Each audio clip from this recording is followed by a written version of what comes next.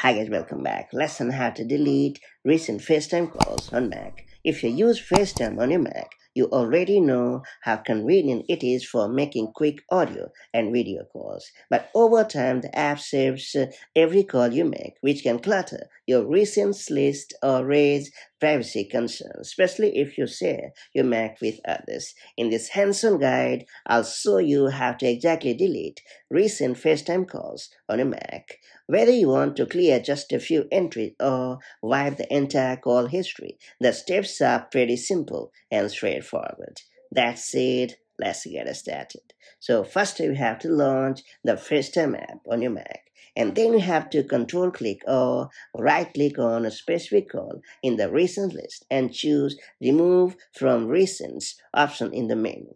Now you can repeat the same quick steps to get rid of all the unwanted calls from the recent screen and that's all it takes to clean up your recent FaceTime calls on your Mac Keeping your call history tidy not only helps maintain your privacy, but also makes the first app feel fresh and organized. Now that you have unlocked this uh, pretty neat method, make the most of it to safeguard your privacy. And I'll catch you up in the next one.